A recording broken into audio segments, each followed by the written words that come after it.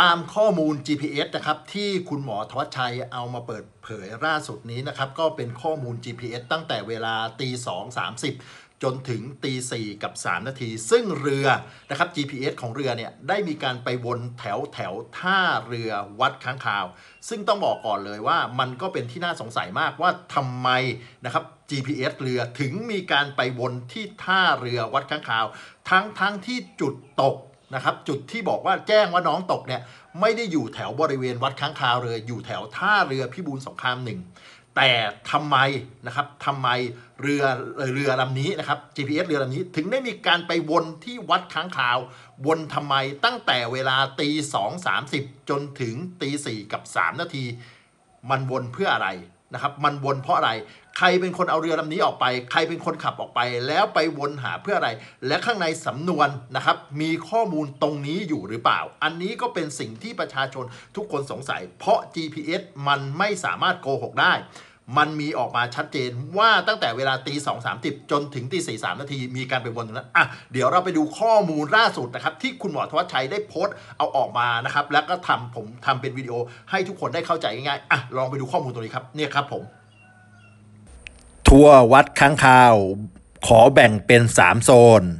โซนเหนือต่อท่าน้ำ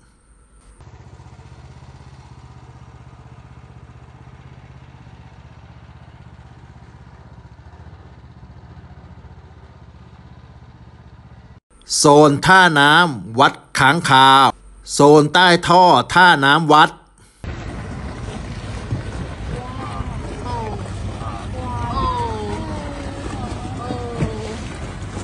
คือมาจอด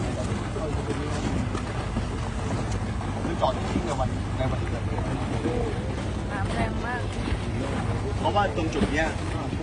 จุดเนี้ยมันเป็นจุดที่เขาเอาบุญตรงนะ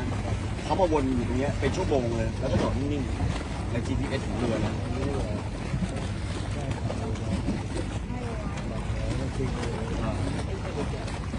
อ่าอ่า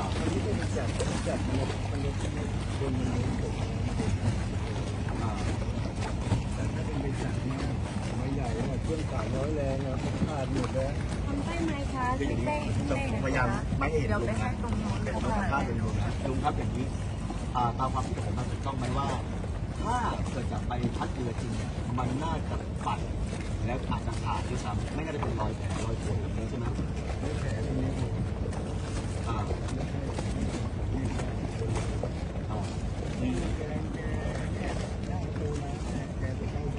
ครับตอนน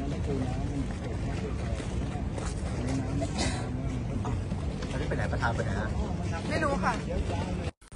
เรือมาจากวัด สารารีไม่เร็วมาก ขับผ่านโซนเหนือ ท่อ ท่าน้ำโซนท่าน้ำมาวนจอดแช่ โซนใต้ท่อท่าน้ำก่อน หลังจากนั้นก็ไปวนจอดแช่ โซนเหนือท่าน้ำเมื่อเสร็จภารกิจก็รีบซิ่งด้วยความเร็ว 30ฟานอตกับอู่ ด้วยเหตุผลอะไร ทำไมนะครับเรือ GPS เรือถึงได้มาวนแถวแถวนี้ตั้งแต่เวลาตีสองสามสิบจนถึงตีสี่สามนาที ในเมื่อจากเหตุการณ์ที่คนบนเรือ แจ้งกับกู้ภัยว่าน้องตกแถวแถวท่าน้ำพิบูลสงคราม แล้วหลังจากที่กู้ภัยมา คนบนเรือทั้งหมดก็ได้ เอาเรือนำเรือนะครับ กลับไปไว้ที่อู่ แต่หลังจากนั้นเรือลำเนี้ยก็ออกจากอู่นะครับ ออกจากอู่มาบริเวณนี้บริเวณนี้ขับอยู่บริเวณนี้ตั้งแต่ตีสองสามสิบจนถึงตีสี่กับสามนาที วนหาอะไร ขับหาอะไรทำไมและใครเป็นคนขับใครเป็นคนอออกมา อันนี้เป็นข้อมูลที่คุณหมอทวัชชัยนะครับ ได้เอามาโพสต์ไว้ ซึ่งมันก็ มีจุดและมีข้อสังเกตที่เป็นพิรุษว่าทำไมเรือลำนี้ถึงได้มาวนแถวแถววัดค้างคาว เพราะว่าจุดที่ตกที่แจ้งก็คือแถวแถวท่าเรือพิบูลสงคราม ทุกคนไปหาน้องอยู่แถวนั้น แล้วทำไมเรือลำนี้ขับออกมาหาอะไรแถวนี้ มันเป็นจุดสังเกตอย่างยิ่ง ข้อมูลนี้อยู่ในสำนวนของเจ้าหน้าที่ตำรวจหรือเปล่า อันนี้เราไม่แน่ใจ แต่ที่แน่ๆทำไมเรือลำนี้ถึงขับมาวนแถวๆนี้ ด้วยจุดประสงค์อะไร ด้วยจุดประสงค์อะไรนะครับ ตั้งแต่ตีสองสามสิบจนถึง4นาฬิกากับ3นาทีนะครับ ด้วยจุดประสงค์อะไร อันนี้เป็นข้อสังเกตที่เราจะต้องติดตามต่อไปครับ นี่แหละครับคือ ข้อมูลทั้งหมดนะครับของ GPS ว่า GPS นะครับเรือเนี่ยไปขับวนนะครับขับวนตรงนะครับวัดข้างข่าวบริเวณวัดข้างข่าววนวนวนอยู่ตั้งแต่เวลาตีสองสามสิบจนถึงตีสี่กับ3นาทีเหมือนไปวนแล้วทำอะไรสักอย่าง เมื่อทำภารกิจเสร็จแล้วก็วิ่งด้วยความเร็วนะครับ30ฟานอตเนี่ยกลับไปที่อู่นะครับถึงอู่เนี่ยเวลาตีสี่กับ3นาทีคำถามคือ GPS เรือลำเนี้ยนะครับหรือเรือลำเนี้ย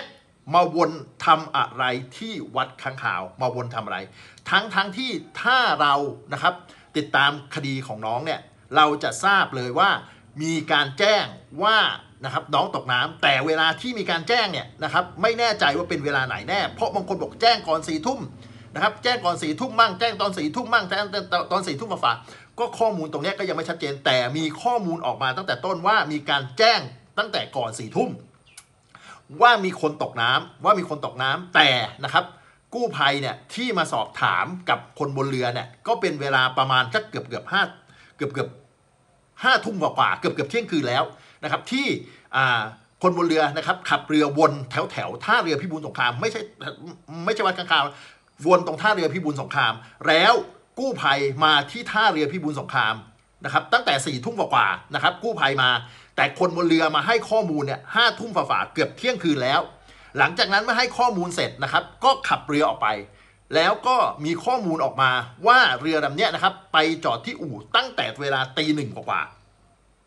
ตีหนึ่งกว่าๆซึ่งในข้อมูลของนะครับเจ้าหน้าที่ตำรวจที่ออกมาแถลงข่าวว่านะครับเรือลำเนี้ยมีการขับวนนะครับ ตั้งแต่เวลาเจ้าหน้าที่ตำรวจบอกว่า สันนิษฐานความเป็นไปได้ว่าน้องตกเวลา 22.34.09 แล้วเรือลำนี้ก็มีการขับวนอยู่ตรงท่าเรือพิบูลสงครามขับวนขับวนขับวนอยู่งั้น จึงสันนิษฐานว่าน้องน่าจะตกตรงนี้นะครับถึงสันนิษฐานน้องว่าน่าจะตกตรงนี้ แล้วเรือลำนี้ขับไปที่อู่ หลังจากขับไปที่อู่แล้วนะครับ คนบนคนบนเรือทั้งหมดก็ขึ้นฝั่งแล้วก็ไปนัดพบกันที่ปั๊มน้ำมันแห่งหนึ่งคำถามคือแล้วตั้งแต่เวลาตีสองสามสิบจนถึงตีสี่สามนาที เรือ GPS เรือลำนี้มีการขับวนนะครับ ขับวนที่วัดข้างข่าว ขับวนเพื่ออะไร ขับวนทำไม ใครเป็นคนขับออกมา ใครเป็นคนขับออกมา ขับมาวนหาอะไร ขับมาวนเพื่ออะไร และข้อมูลตรงนี้อยู่ในสำนวนของเจ้าหน้าที่ตำรวจหรือเปล่า เจ้าหน้าที่ตำรวจมีการสงสัยข้อมูลตรงนี้หรือเปล่า เพราะเจ้าหน้าที่บอกว่าสันนิษฐานความเป็นไปได้ ว่าเวลา 22.34.09 นะครับน้องอาจจะตกตรงนี้ เพราะมีการขับเรือวนตรงนี้นะครับแล้วทำไมตีสองสามสิบจนถึงตีสี่กับ 3 นาที GPS เรือถึงได้ไปขับวนที่วัดข้างคาววนอยู่อย่างนั้น นี่คือข้อพิรุษและข้อสังเกตที่คุณหมอธวัชชัยได้เอามาโพสต์เรื่องของ GPS เราคงประชาชนอย่างเราพวกเราสงสัย แต่เจ้าหน้าที่ตำรวจทำไมถึงไม่สงสัยเรื่องนี้ และไม่มีข้อมูลพวกนี้ออกมาจากเจ้าหน้าที่เลย มันเป็นเพราะอะไรก็คงต้องติดตามคดีนี้กันต่อไปว่าสุดท้ายแล้วมันคืออะไรกันแน่